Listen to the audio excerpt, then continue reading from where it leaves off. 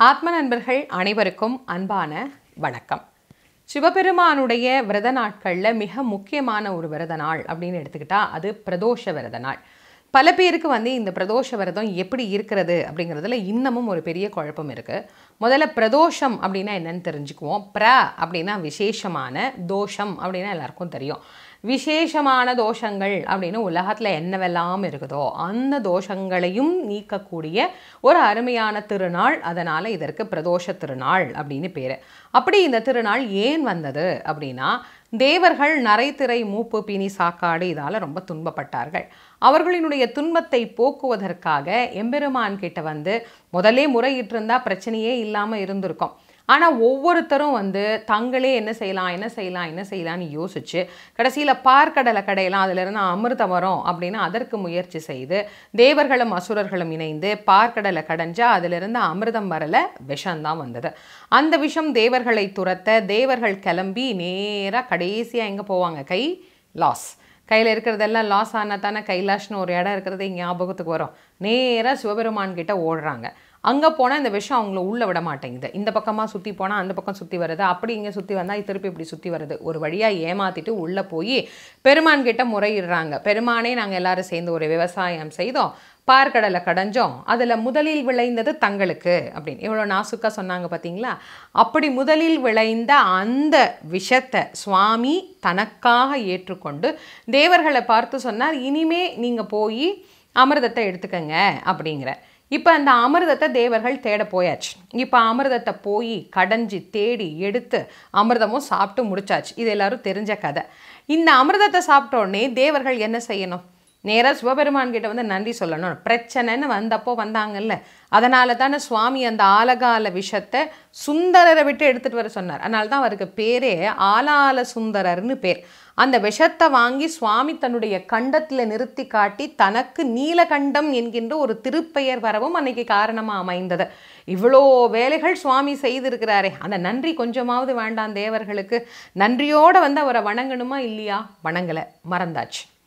இப்போ சுவாமி விட்டுட்டார். சரி பரவாயில்ல. அப்படி அப்புறம்தான் உங்களுக்கு ஞாபகம் வருது. அடடா நம்ம சுவாமியை கும்பிட மறந்துட்டோமே. சுவாமிக்கு நம்ம நன்றி சொல்லி இருக்கணும். அவரால் தானே இதெல்லாம் நமக்கு சாத்தியமானதுன்னு தங்கள் தவறை உணர்ந்து தேவர்கள் பெருமானை வந்து மன்னிப்பு கேட்டு அபிஷேகித்து பூஜை செய்து வணங்கிய நாளை தான் இன்றைக்கி நாம் பிரதோஷம் அப்படின்னு கொண்டாடி கொண்டிருக்கின்றோம். பிரதோஷம் அப்படிங்கிறது பல வகையான பிரதோஷங்கள் நமக்கு உண்டு. நித்திய பிரதோஷம் பக்ஷ பிரதோஷம் மாத பிரதோஷம் மகா பிரதோஷம் பிரளய பிரதோஷம் அப்படின்னு நிறைய பிரதோஷ வகைகள் நமக்கு சொல்லப்பட்டிருக்கு. நித்திய பிரதோஷம் அப்படிங்கிறது அன்றாடம் நாலு முப்பது மணியிலிருந்து ஆறு மணி வரை. அதுக்கு பிரதோஷ நேரம் அப்படின்னே பேர். பக்ஷ பிரதோஷம். சுக்ல பிர பக்ஷம் நாம் சொல்கிறோம் இல்லைங்களா? இந்த மாதிரி பக்ஷங்களில் வருவது பக்ஷ பிரதோஷம். மாத பிரதோஷம் அப்படின்னு மாதந்தோறும் வரக்கூடியதை மாத பிரதோஷம் அப்படின்னு சொல்கிறோம் மகா பிரதோஷம் அப்படின்னா சனிக்கிழமை அன்று வரக்கூடியது மகா பிரதோஷம் பிரளய காலத்தில் வருவது பிரளய பிரதோஷம். இப்படி பல வகையான இந்த பிரதோஷத்தில் என்னென்ன பிரதோஷம் வருதோ அது அத்தனையிலையும் விரதம் இருக்கலாம். அது எதுவாக இருந்தாலும் சரி அது மிக உயர்வான ஒரு நாள். இந்த பிரதோஷ விரதம் இருந்தால் சிவபெருமானுடைய அருள் முழுவதையும் நம்மால் பெற முடியும். அதனால் தான் பிரதோஷம் மிக உயர்ந்த சிவனை வழிபடுகிற விரதங்களில் ஒன்றாக சொல்லப்பட்ட ஒரு உன்னத விரதம்.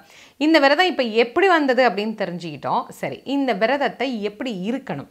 காலையில் எழுந்த உடனே நீராடி விட்டு சிவபெருமானுடைய நாமத்தை நாம் உச்சரிக்கணும். சிவாய நமக. எந்த விரதமாக இருந்தாலும் அன்றைக்கு அந்த தெய்வத்தினுடைய நாமத்தை நம்ம சொல்லிகிட்டே இருக்கணும். உபவாசம் இருக்க முடிந்தவர்கள் உபவாசமாக இருக்கலாம். உபவாசம் இருந்து மாலையில் சிவனுடைய ஆலயத்திற்கு சென்று சிவபெருமானுக்கு நாலு மணி நாளை இருந்தே கோவிலில் பூஜையெல்லாம் ஆரம்பிச்சிருவாங்க. நந்திக்கு அபிஷேக ஆராதனைகள்லாம் செய்து அதற்கு பிறகு சுவாமிக்கு அபிஷேக ஆராதனை செய்து நந்தியில் சுவாமி எழுந்தருளி அருள் புரியக்கூடிய நாள். நீங்கள் பிரதோஷ வேளையில் பார்த்தீங்கன்னா நந்தியோட அந்த ரெண்டு கொம்பு இருக்கு இல்லையா? அந்த ரெண்டு கொம்புக்கு நடுவில் தான் வந்து சிவபெருமான் எழுந்தருளி அருள் புரிகின்ற ஒரு அற்புதமான திருக்காட்சி நடனத்தை காணுகிற நாள் அப்படின்னா இந்த பிரதோஷ திருநாள் தான். அதனால் ஆலயங்களில் நந்தி வாகனத்தில் சுவாமி ஆரோகணிக்கக்கூடிய அவருடைய பிரகார வளமும் அன்னைக்கு அமைந்திருக்கும். இந்த நாளில் நாம் எப்படி கோவிலில் போய் வணங்கணும் அப்படின்னா பிரதோஷத்தன்னைக்கு வழிபடுறதுக்கு சோமசூத்திர பிரதட்சணம் அப்படின்னு ஒரு முறை உண்டு. இந்த முறை எப்படி வணங்கணும் அப்படின்னு நான் சொல்கிறேன் கொஞ்சம் கவனமாக அதை கேட்டுக்கோங்க. சிவபெருமானை வணங்குறதுக்கு கோயிலுக்குள்ளே நுழைஞ்ச உடனே நந்தி இருப்பார். அவரை வணங்கி சிவபெருமானை வணங்கி முதல்ல சண்டிகேஸ்வரரை தாண்டாமல் திரும்ப வந்து இந்த பக்கம் கோமுகியை தாண்டாமல் திரும்ப வந்து நந்தியை வணங்கி சிவபெருமானை வணங்கி சண்டிகேஸ்வரரை போய் வணங்கிட்டு திரும்ப பெருமான் கிட்ட வந்து நிற்கணும் இது வந்து ஒரு முறை. இதே மாதிரி நீங்கள் மூன்று முறை செய்தீங்க அப்படின்னா சோமசூத்திர பிரதட்சணம் என்கின்ற இந்த முறையில் வழிபடலாம். ஏன் அப்படி தான் இன்னைக்கு வணங்கணுமா அப்படின்னா தேவர்கள் விஷம் துரத்துகிற போது இப்படி தான் ஓடினாங்க. அவர்கள் போன அந்த பிரதட்சணத்தை நாம் போனோம் அப்படின்னா நம்முடைய வாழ்க்கையிலும் ஏற்பட்டிருக்கிற துன்பங்கள் பிரச்சனைகள் எல்லாம் நீங்கி இன்பம் அப்படிங்கிறது நமக்கு கிடைக்கும். இன்னொரு மிகப்பெரிய நலனும் உண்டு கடன் தீரும். கடன் அப்படின்னா என்ன கடன்? இங்கே வாங்கியிருக்கிற கடனும் தீரும் பிறவியில் வாங்கியிருக்கிறோம் பாருங்கள் அந்த பிறவி பெருங்கடனும் தீரும். அடியன் வந்து ஏற்கனவே இந்த கடன் வாங்கினால் அதிலிருந்து நம்ம வெளியில் வரத்துக்கு என்னெல்லாம் பதிகம் வழிபாடெல்லாம் இருக்குது அப்படின்னு ஒரு தொகுப்பு ஒன்று கொடுத்துருக்கேன். வாய்ப்பு இருந்ததுன்னா அதையும் நீங்கள் போய் பார்க்கலாம். இந்த சோமசூத்திர பிரதட்சணத்தை மேற்கொண்டாலும் கடன் தொல்லை அப்படிங்கிறது நமக்கு முழுமையாக தீரும்.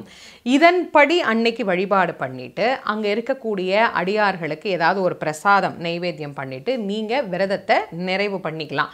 ஒவ்வொரு பிரதோஷமும் இது போல விரதம் இருந்தோம் அப்படின்னா சிவபெருமானுடைய கருணையை பரிபூரணமாக நம்மால் அந்நாளில் பெற முடியும். இந்த பிரதோஷ விரதத்தை அன்னைக்கு நாம் நம்முடைய குழந்தைகளுடைய கல்வி நலனுக்காகவும் ஆரோக்கியத்திற்காகவும் நல்ல உயரிய தலைமை பண்பு தலைமை பதவி இதெல்லாம் கிடைப்பதற்காகவும் சிவபதம் நமக்கு கிடைப்பதற்காகவும் நல்ல அடியாராய் வாழ்வதற்காகவும் இத்தனை நலன்களையும் வேண்டி இந்த பிரதோஷ விரதத்தை நாம மேற்கொள்ளலாம்.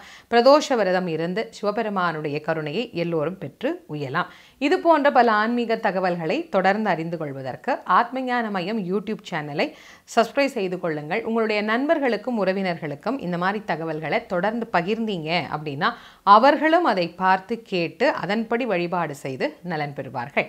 மீண்டும் மற்றும் ஒரு சிறப்பான பதிவில் உங்கள் அனைவரையும் சந்திக்கும் வரை உங்கள் அனைவருக்கும் நன்றியும் வணக்கமும் குறிவிடை பெறுவது திருமுருக வள்ளல் வாரியார் சுவாமிகளின் மாணவி தேசமங்கேற்கரசி. நன்றி. வணக்கம்.